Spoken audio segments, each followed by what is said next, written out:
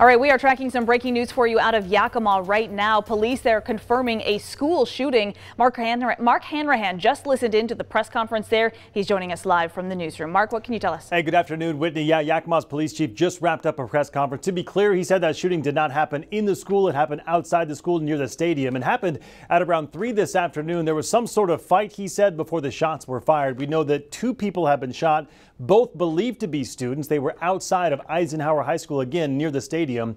We know an 18 year old was shot and that person's in serious but stable condition. A 16 year old was also shot. That person's in critical condition, we're told. Police, meantime, searching for two suspects. They say they do have good, new, good leads, rather, and they also believe the shooting is gang related.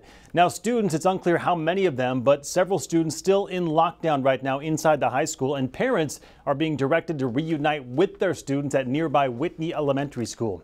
We will continue to track this breaking news and bring you any updates as soon as we get them right here on KREM 2 or our social media platforms. In the meantime, Whitney, we'll send it back to you.